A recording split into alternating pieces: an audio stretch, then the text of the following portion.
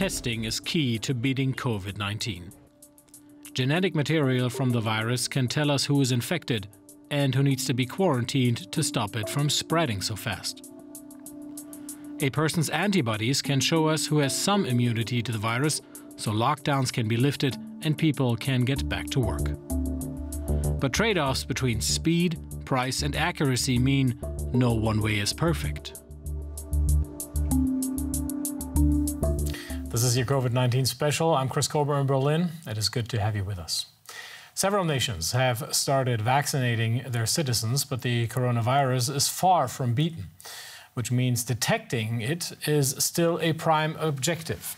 A German entrepreneur and scientist has been developing ways to not only test many people quickly, cheaply, and to stop chains of infection, but to also enable folks to go on with their lives.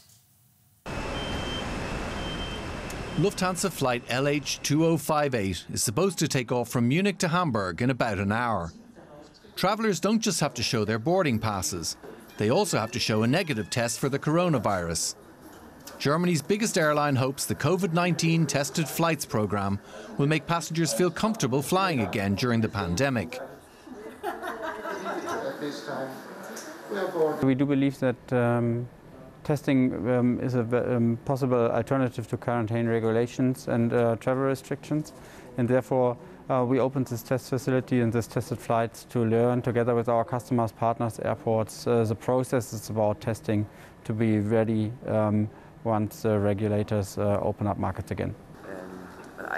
The test centre is just a few steps away. Here, medical personnel take a throat swab and analyse it using antigen rapid tests. These work by detecting proteins on the virus surface.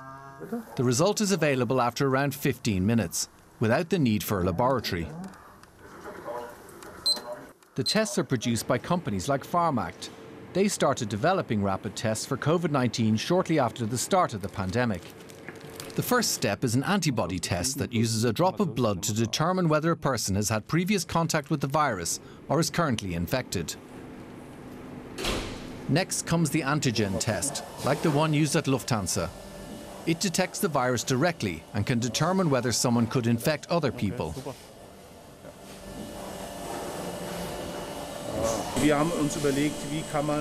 We thought about how can we make tests that will function everywhere without the need for a large infrastructure behind them. Let's say in the jungle or in Southeast Asia on a small island. The goal is to be able to test many people quickly and cheaply to stop chains of infection. And to do this worldwide, even in regions that do not have a well developed infrastructure. Pharmact started producing large numbers of tests within a few weeks, working together with a family business that usually supplies the automotive and electrical industries.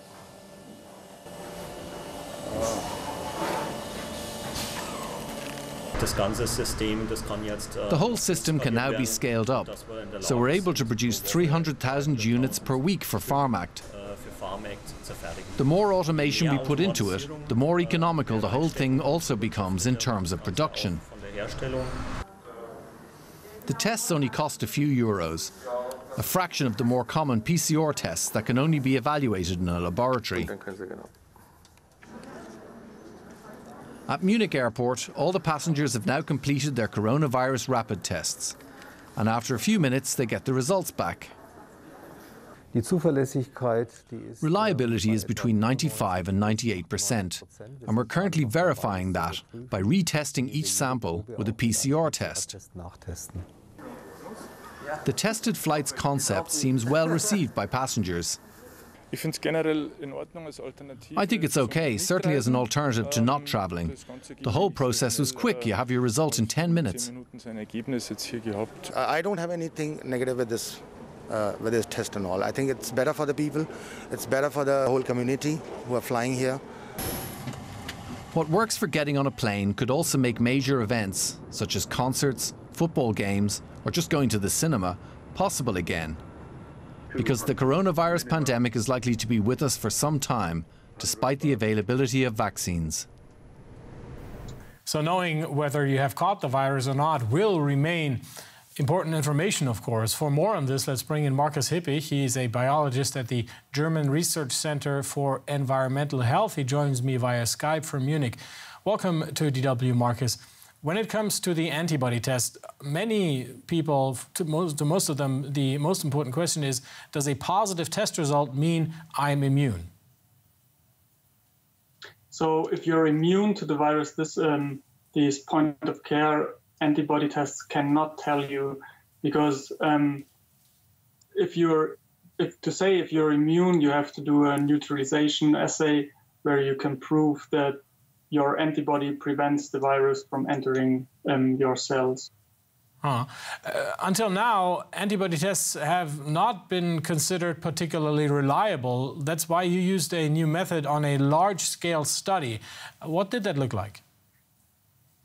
So there, there are also some um, point of care tests that are reliable.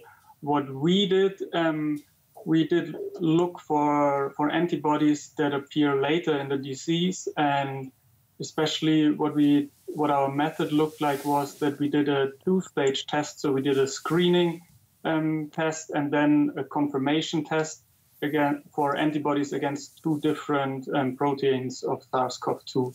And the special thing about this is that we reach a specificity of 100%, meaning that we do not detect any false positives. So we really report the true prevalence. Hmm. And tell us more uh, on the result of your study. So we um, sc uh, screened children in Bavaria, Germany, aged 1 to 18 years. And what we found from January 2020 to July was a um, six-fold higher prevalence of antibodies as compared um, to the reported cases. And also half of the children that had antibodies um, were asymptomatic. Hmm. Now, does a higher incidence of antibodies in the population mean that more people are already immune to the virus? It's like in, in the first question, and you know is the, is the short answer, but um, if you test, if you do these neutralization assays, and you can prove that especially these antibodies you're testing, um, that they also confer immunity, then in principle this is right. The more people um, have these immunizing antibodies, then of course the more people are immune. But hmm. from a, a, single antibody test without this neutralization assay, you cannot conclude this. In recent weeks, infection numbers have been rising to very high levels here in Germany. What do you think is the reason for that? So I think the, the reason is that there are really are more infections and more or less the transmission of infection got out of control, not like it was in during the summer with lower numbers where backtracing was also possible. This is not possible anymore. And of course, there's also more testing, but also the positive rate goes up. So it's not just the number of tests that goes up, there really are more infections. Markus Hippich of the German Research Center for Environmental Health, thank you for talking to us. Thank you. So we know some more about the different methods of COVID testing than we did at the start of the show. But there are questions remaining, and that's when our science correspondent, Derek Williams, is happy to jump in. Is it possible to test positive for COVID 19 and its antibodies at the same time? Tricky question. To answer it, um, we need a quick refresher on the terminology. Uh, antibodies are immune system proteins that can be detected by what are called serological tests, uh, generally from blood samples. If you have antibodies that are specific to COVID 19, that indicates that you were exposed to the coronavirus at some point in the past, uh, whether you developed symptoms or not. Diagnostics like antigen and PCR tests, on the other hand, are for detecting the virus or its genetic material. So they're supposed to tell you whether you have an active infection. This question, therefore, basically boils down to uh, can I have an active infection, yet at the same time be producing detectable amounts of antibodies against it? Yes, you can, but, but finding both involves getting the timing right. Um, that's because there's some overlap between when an infection is in full swing and the ramp up of the body's immune response. Um, in general, experts say it takes a patient's body between one and three weeks to produce detectable amounts of the different antibodies that play a key role in fighting off COVID 19. Um, researchers in New York found that even patients producing antibodies in those measurable amounts, however, could continue to test positive for the virus for up to four weeks after their symptoms resolved. Um, what the team couldn't determine, though, was whether that viral genetic material was actually coming from active viable virus. Um, PCR testing doesn't tell you that, although that's really what you want to know. It just tells you whether there are intact pieces of viral RNA in a sample. Do you have a question for Derek? Well, just send an email to feedback.english at dw.com and type expert in the subject line or leave a comment on our YouTube channel. Now, before we let you go, here's a story about adapting traditions to today's realities. Germany's seasonal Christmas markets called off due to coronavirus restrictions. Drive through options have been popping up across the country. In Kalkar, near the, near the Dutch border, a family theme park has been transformed into a winter wonderland complete with artificial snow, mulled wine, and music. Cars follow a two and a half kilometer route past illuminated stands selling sausages, crepes, and roasted almonds. Under new lockdown rules in Germany, the Christmas market will be allowed to remain open as long as the stalls only sell food for consumption in vehicles.